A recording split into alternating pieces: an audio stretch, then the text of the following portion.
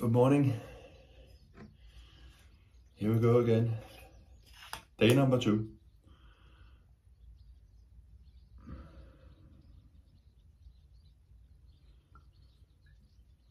It's a lot of oil.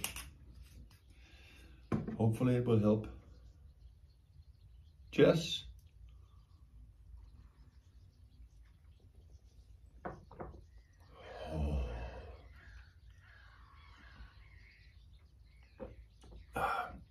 I think I can get used to this.